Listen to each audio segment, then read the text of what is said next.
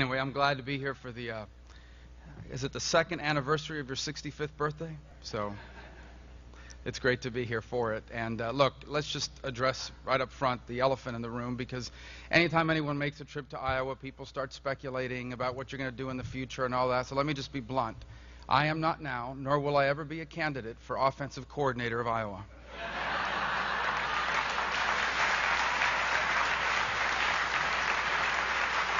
I know there's rumors.